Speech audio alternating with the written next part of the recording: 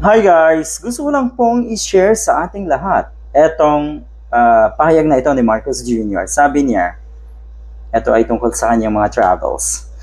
Um, kung naalala niyo po, sabi ng mga netizens, ito yung nag-viral, ah, kumala talaga ito, na kuno kaya uh, travel ng travel, hindi tumitigil itong si Marcos Jr. sa kanyang mga trips. Um, dahil nga gusto daw niyang makita talaga yung Boodle Island. Baka nga totoo.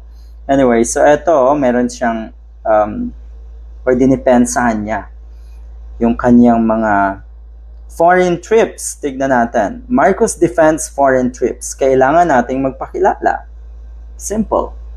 Kailangan magpakilala.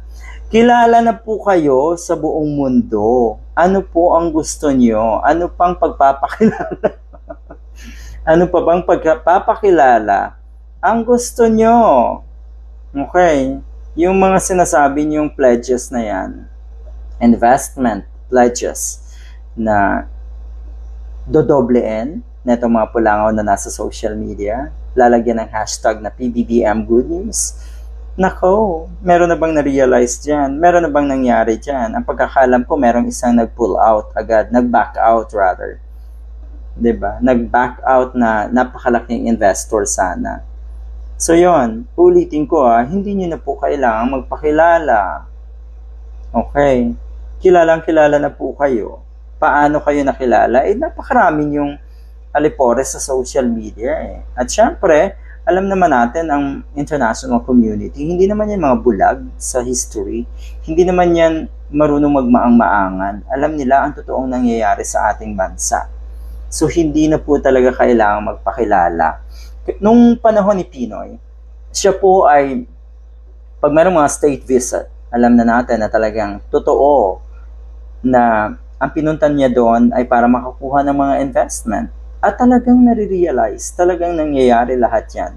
Hindi niya na sinabing siya ay magpapakilala. Pasensya na.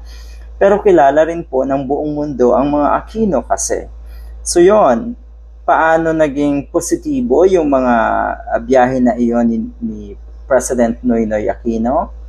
Dahil positibo rin po ang pagkakakilala sa mga Aquino ng international community. Isa inyo po, kabaliktaran. So yung sinasabi niyong magpapakilala, for God's sake naman, wale.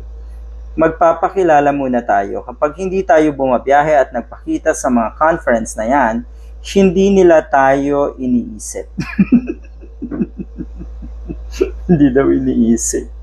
Yun lang. Ang babaw, ano ba? Sino bang gumawa na itong pahayag na ito ni Marcos Jr.? Ang mga netizens tuloy pinagtatawanan to. Grabe talaga.